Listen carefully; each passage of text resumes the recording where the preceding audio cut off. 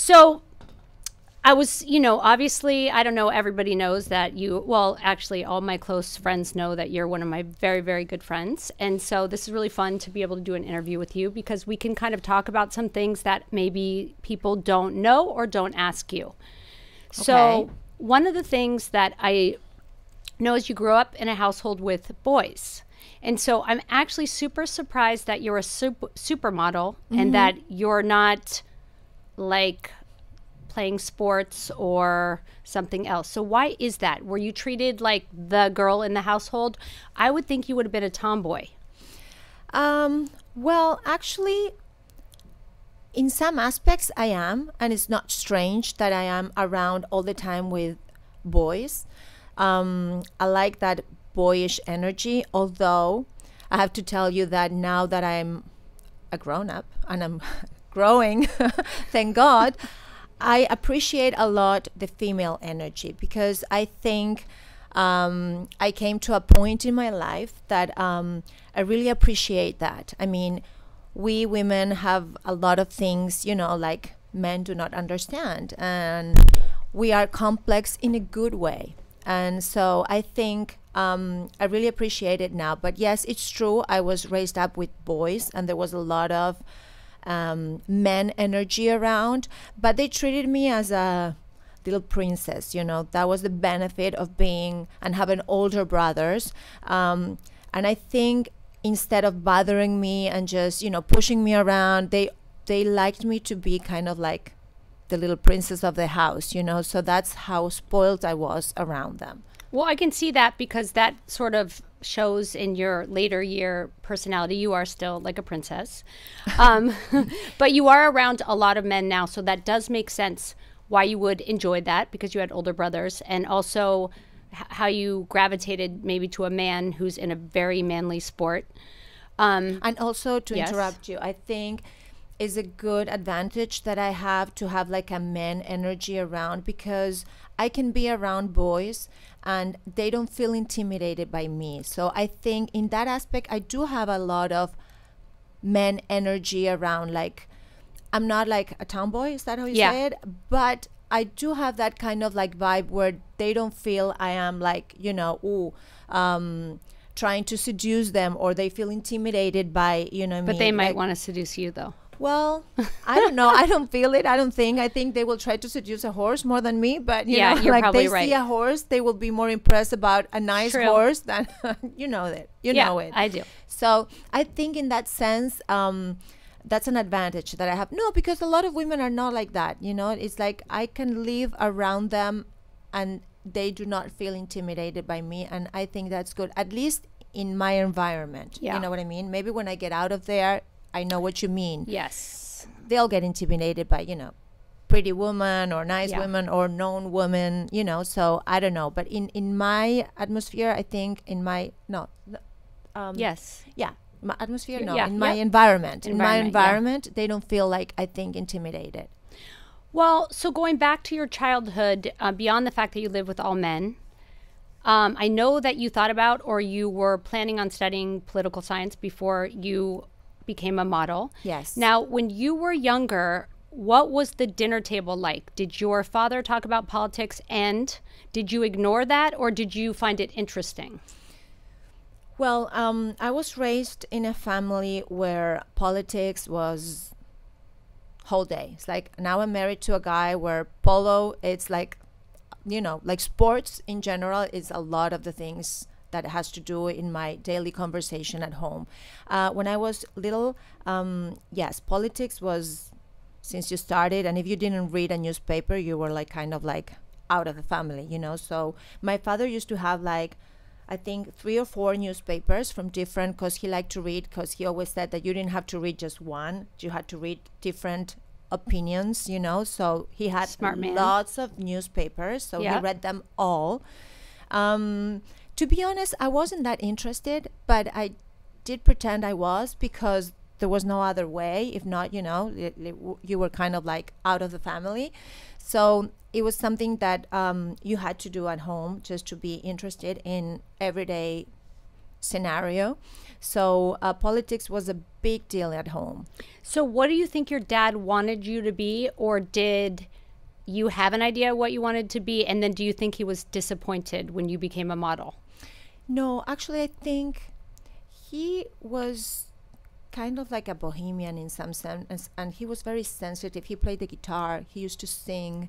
So I think there was something very artistic in him. Yeah. So he always admired he was the one that always wanted me to do ballet dancing or to do like feminine things and you know that i should look like always like girly and i was like a little princess. And i think he encouraged me to do those kind of stuff but um, still there was something going on about like for my parents, education was very important. I think they wanted me to have an education. That's the only thing they were going to leave us. So I was raised up with uh, to have good grades, to be in a good university, to have a good education, not only acam- academically but also at home. It was very important for them. So, um, so I think he wanted me to do those other things because the artistic part I think came from him rather than from my mother. Um, but um, I think they didn't know how, you know, like how to present me to that world because it was not his world. So, um, well, what did you want to be when you were like when I was younger? I wanted to be a corporate lawyer, and mm-hmm. then one day I worked for a corporate lawyer, and I like spelled his name wrong on papers that went to a very important business, and uh-huh. I got uh-huh. fired. So then I was like, I can't be a lawyer because I'm not that detail oriented. So what did you actually want to be when you were younger? I think I wanted to be an artist, that's for sure. But um, I also wanted to be a teacher. Wow. And I wanted to be an English teacher. I mean, I really loved languages.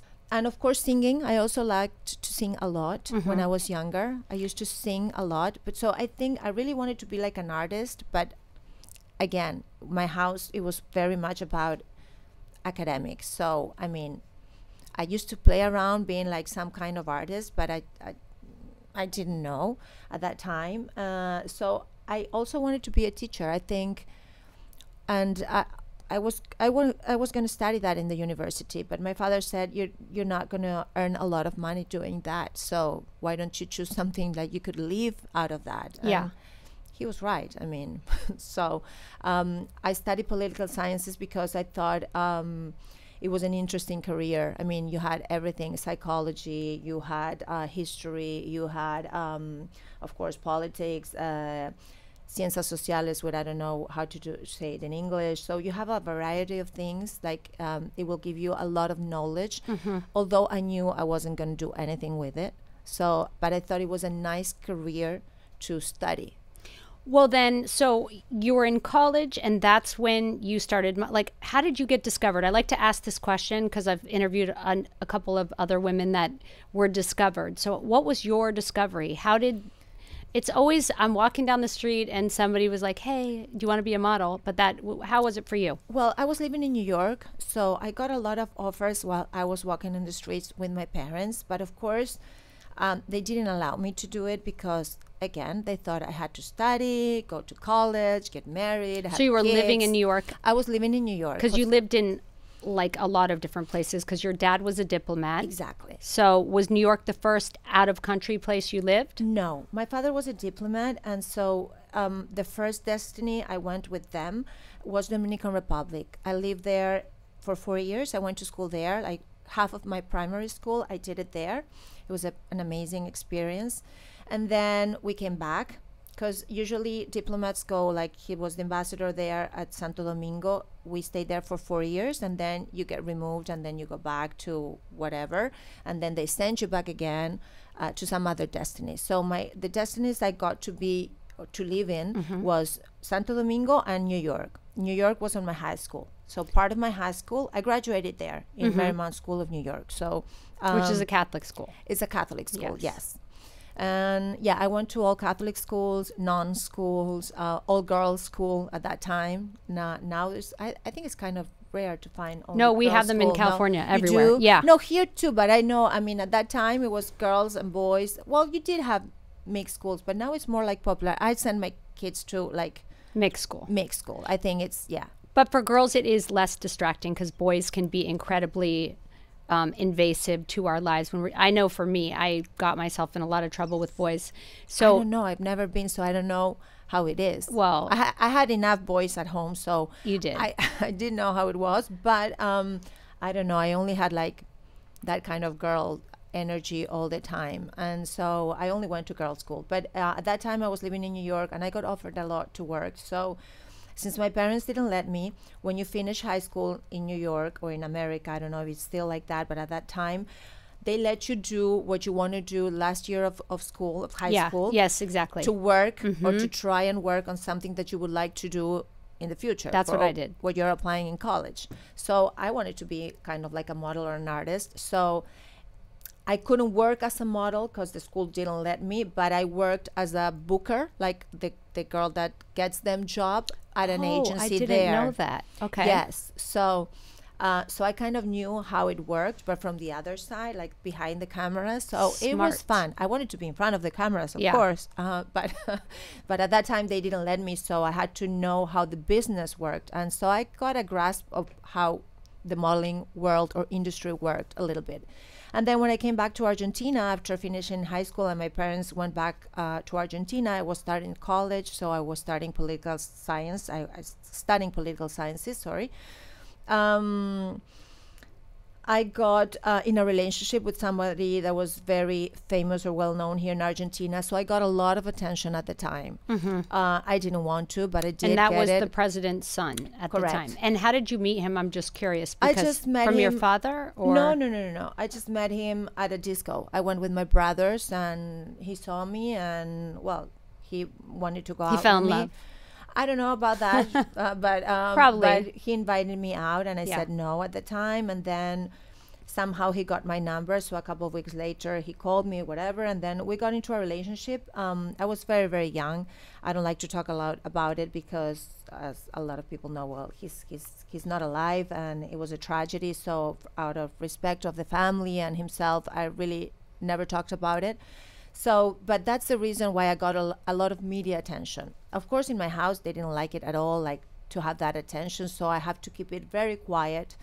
Um, but still, you know, I had a lot of paparazzis following me in the university because at that time you didn't have social media. So, Yeah.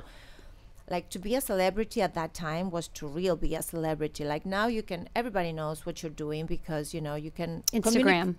which is good because you can communicate what you want and who you are It's instead true. of somebody um, uh, portrays you as somebody that Yeah. they think you are, maybe you're not. So, but at that time, you only had just magazines, so you went and see or know about all these people about just um, going to the store and buy like a magazine. like Hola or Yes, Gente was about that time. If you were on the cover of uh, this magazine, this local magazine, which is called Gente, you were yes. somebody. No, I know that because that's what Luli said was Yes. her defining moment. Well, it, it was at that time. I mean, if you were there, you were really there. You were really somebody. I mean, I think at, at that time, like where I was very, like I felt like kind of like harassed by, by media in that time because I was very young. I was 17, 18, you know, so, and I had paparazzis for like a whole year, like everywhere.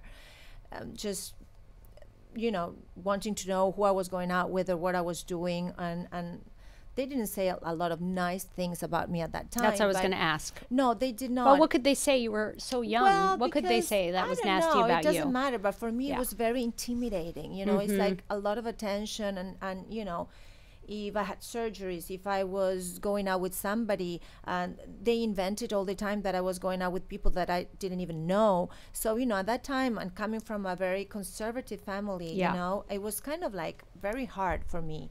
So, but I think you always have a choice to just so what I did at that time, the first year, I thought it was this is ridiculous. So you know, I just tried not to go to places where I, you know, uh, was gonna get attention, like to discos or like you know to uh, public places or just to go.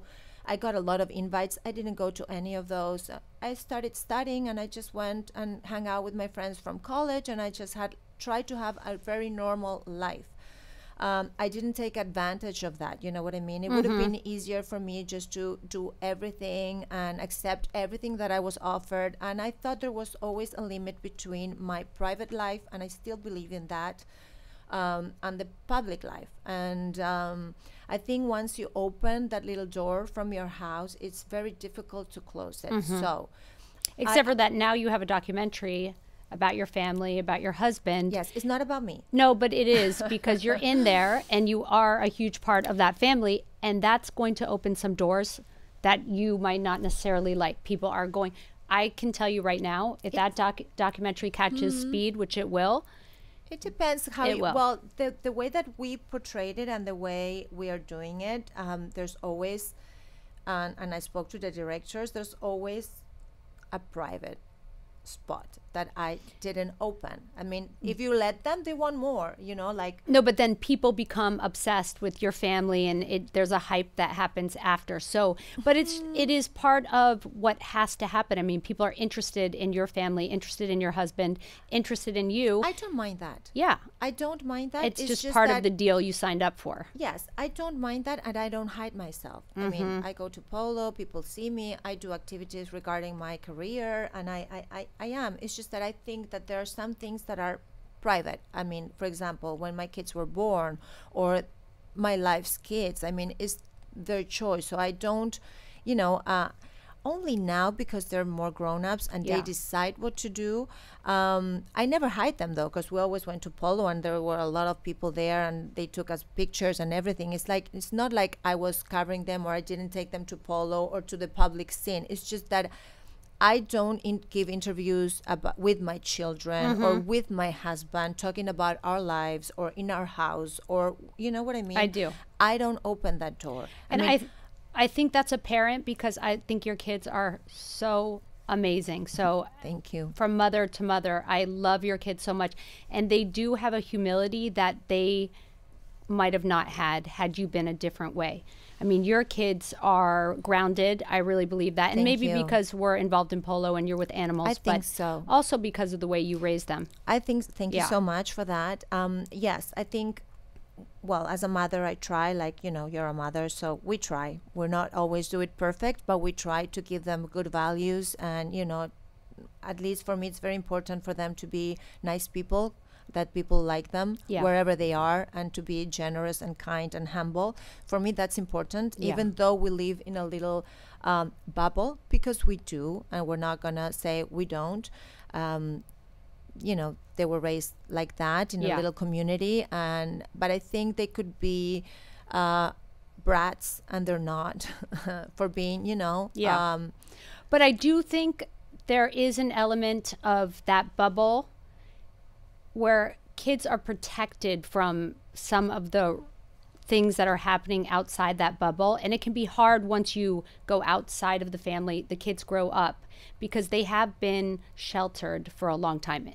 And that can be difficult. Well, so did you? One thing I, I meant to, we skipped over because there's a lot mm-hmm. involved in your life that I can talk about when you were very young, your father obviously was a mm-hmm. diplomat, and he ended up being put in jail because of a movement here in Argentina, not because he did something. And I imagine that must have been extremely traumatic. So, how did your parents, how did your mom keep you safe from what other people were thinking or I, I don't know enough Yes. about the movement. Maybe tell me a little bit about what well happened. it was a very dark time in our in the history of argentina um the militaries took over the government and a lot of people were like killed kidnapped. Um my father went to jail because of that. Um he was in politics and um he was very young.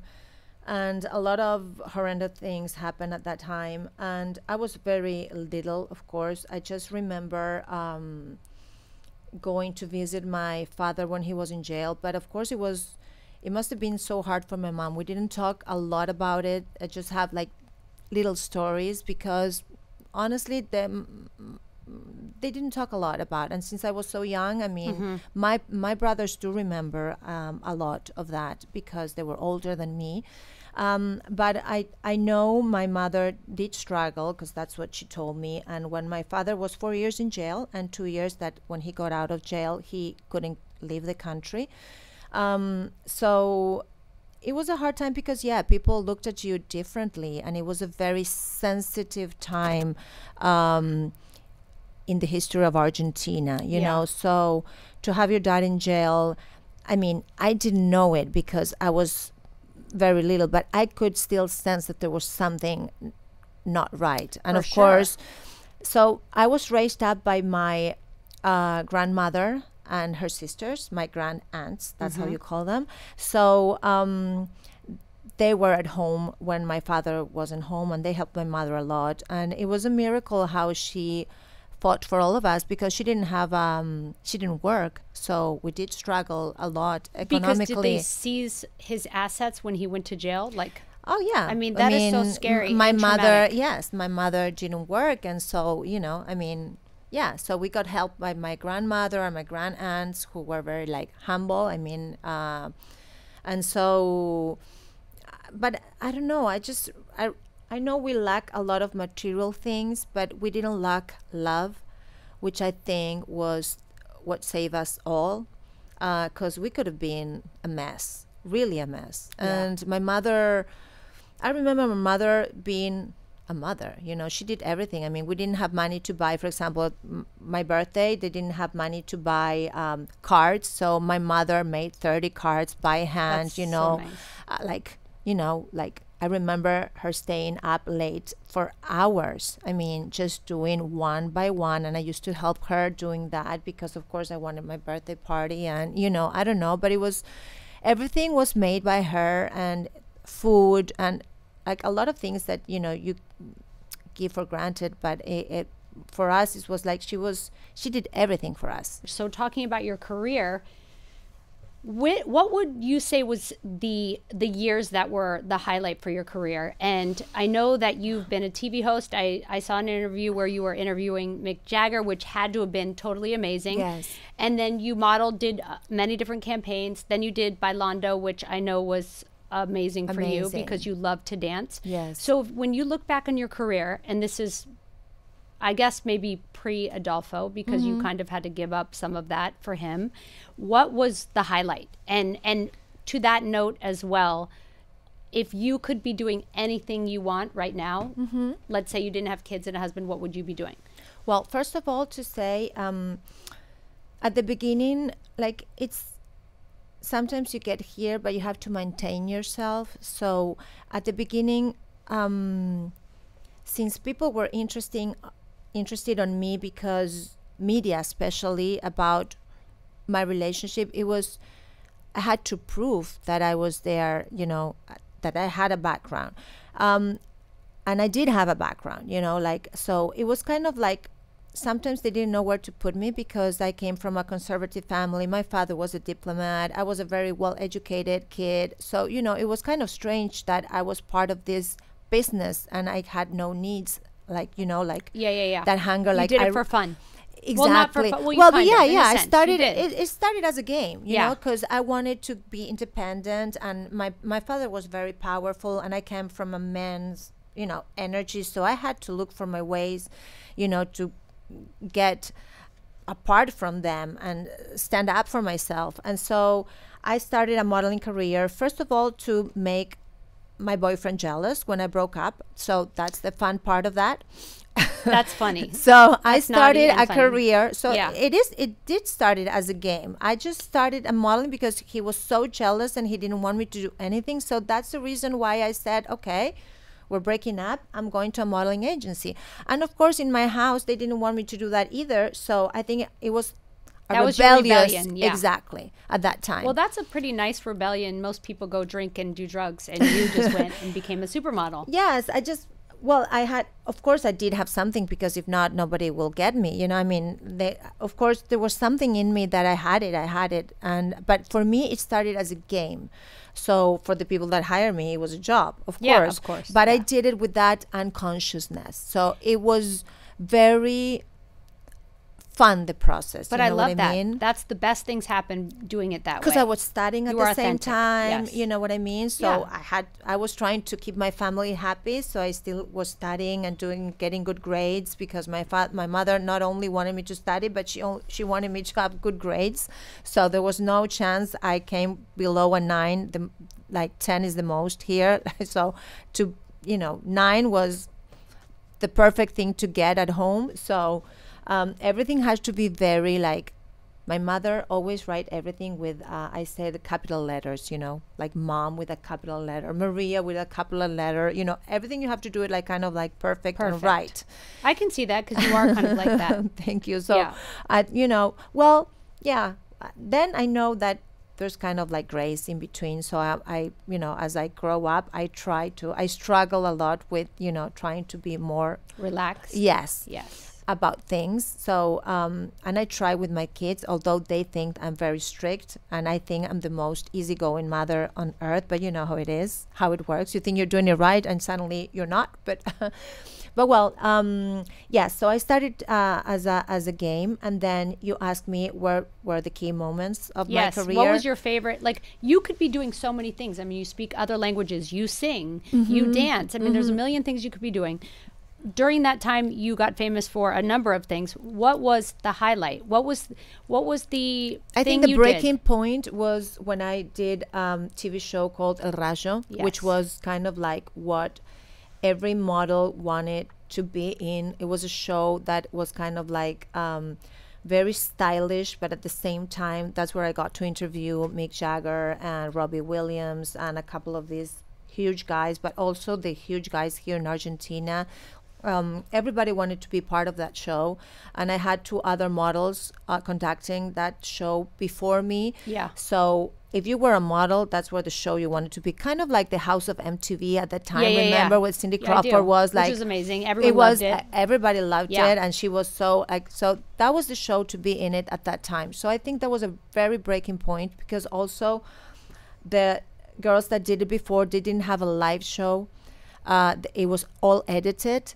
Oh, so yours? I remember you talking about this the other day. It was live, like Mine live. was. so you couldn't fuck up. Like we so it was here. the first host that they gave it like a Yeah. live show. So I really loved it because the the key of the success of the show was that it was so well edited. I mean, it was everything moved very fast. Mm-hmm. and you had to speak in English. No, no, no. It was in? Spanish, but my Oh. interviews, if I had to interview that's Mick Jagger, of Mick course, yes. yes.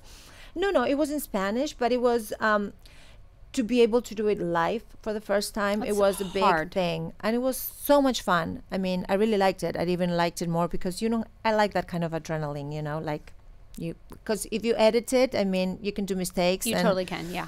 and then the other breaking point was the Dancing with the Stars. I mean, when you model, I think people do not expect a lot of things from you. So if you dance, it's like, oh, she can dance. You know, like the good thing about that is like they don't expect anything just to be nice and pretty. And, you know, that's the only thing. And you can they dance want. because I've watched a lot of your clips. So if you speak well, it's like, Yeah. whoa, she speaks. At that time, you know, now everything yeah, yeah. changed, you know, like No, but I think models, people don't expect a lot from models. But you are so complex and intelligent. Thank you so And that's much. one of the reasons why I was so excited to interview you is because there's you're so smart. Thank you, and and I know that people really focus on kind of the outside. Yeah, and the way of life, and Yeah. she might be, you know, well, she's married to a polo player, and she lives, you know, in that little castle, and Well, you do.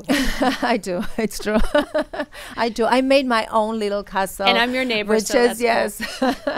but um, no, what I think is like, uh, yeah, people do not expect anything. So I was, for me, I had everything just to gain. I mean, it was a winning game because if you more or less speak English, it's like, wow, she speaks English, and if and she you move speak very well. and if you move your leg like this, say, oh, she can dance. Yeah. Uh, and then suddenly, you know, they discover that you could do all all these things, and that you know you break a lot of um, um, Stereotypes. exactly. Thank you. Well, I did watch a clip, and I'm sure, I mean, you know, it, Adolfo was in the audience, and he looked mortified. Not because you weren't doing a good job, but because you were so good. know. and that's got to be stressful to watch. I mean, dancing is a very intimate sport, and actually, Dancing with the Stars in the United States, a lot of the dancers and the participants end up hooking up.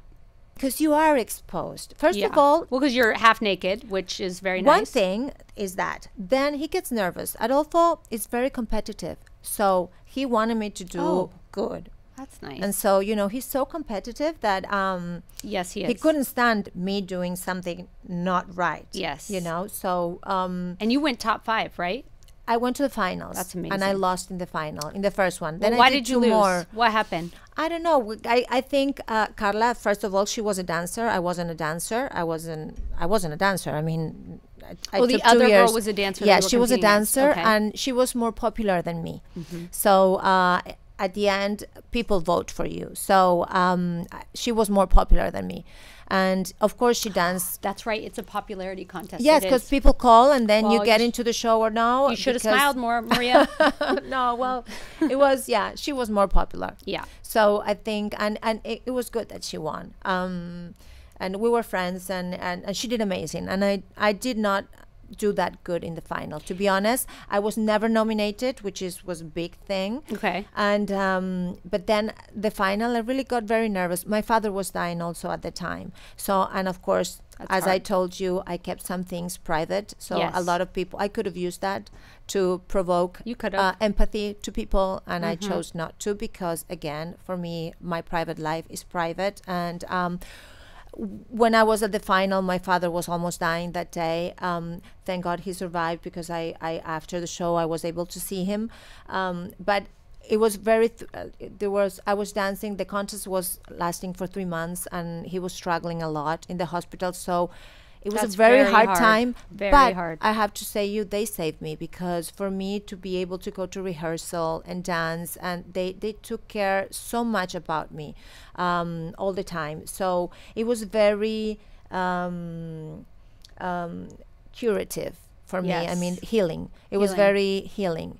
Uh, curative. That's not No. a word, no. No, No, uh, you can make it up. You're I don't judge. Nobody judge you. Half I the know, people don't even know what you're saying. curative uh, is a new word. We'll put it in the Uh, dictionary. yes, no, but it was a very healing process for me uh, to be able to do that Dancing with the Stars. Yeah. uh, and so I was kind of like very tired by the final, and I was very nervous. I mean, it was like whoa, because now they did like I don't know, thirty editions already, but at that time it was the third one, and and so it was a big thing again. Uh, there were not models accepting to be on the show because it was, you know, like uh, people were afraid to dance Yeah. live, you know. And I didn't have a lot, but I just I thought I was able to do You it. were amazing. I mean, And I, thank you. and I learned. For me, it was a school. so and good. after that, I started studying. I've been studying dancing Yeah, like do. for for for ten years. So so that kind of goes into my next segment of this interview. Mm-hmm. Now, so we'll so you had this huge career and then you meet Adolfo. Yeah. And the reason why I don't talk too much about him because everyone talks about him and we know kind of your life with Adolfo. But what we really don't know is Mm-hmm. what you've been doing behind the scenes because you're quiet. You Hmm. really are quiet about all the things you do. Mm-hmm. But for example, I know that you have a clothing company with your partners, Lanthropy, and you just did a collaboration with Ivana, which was I have my um, jewelry as well. My your jewelry. Yeah. So so those things are really important.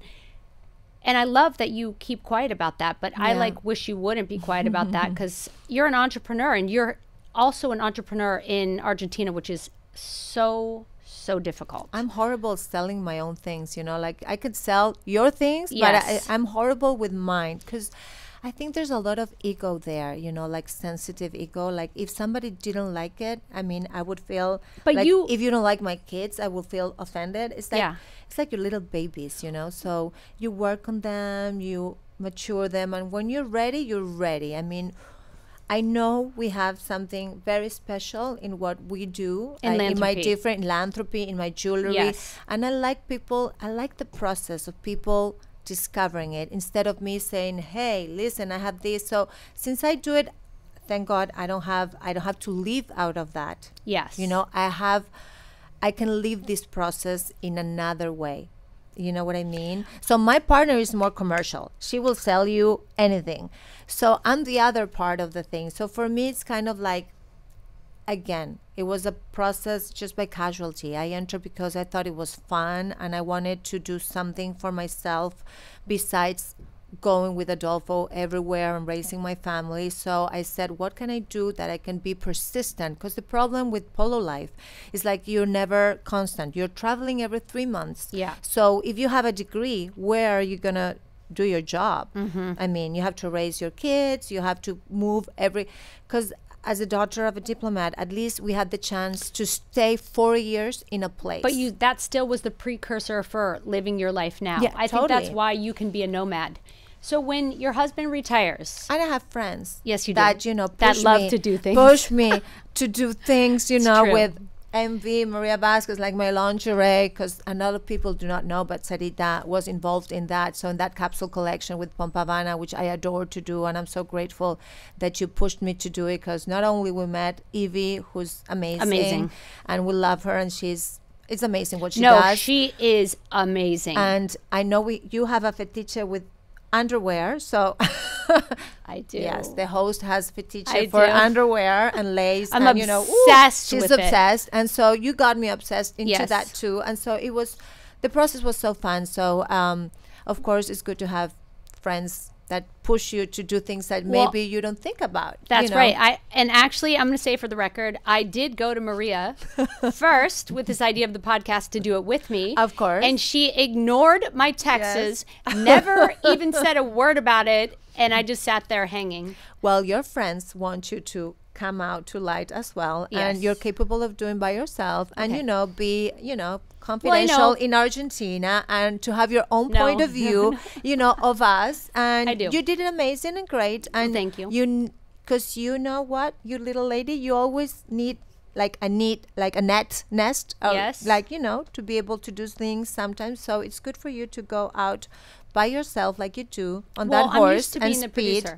I know. Well, so that's it's weird for me to be doing this anyway. well. but because I'm in this country and I know nobody, and honestly, just like you were saying about Hmm. the things that you do, it's there's no pressure because nobody knows me, and I can really truly engage with the people I'm meeting. and have fun in the process. It's so fun. you know, and Yeah. have fun in the process. And uh, that I think that's because it wasn't me; it was your thing. Yes, you know what I mean. So I thought it's it's it's a process that you have to go by Yeah. yourself. Well, I have uh, more ideas for you. Don't worry. I know, I know, I know. I know we're gonna end up traveling everywhere, you know, It's or doing something.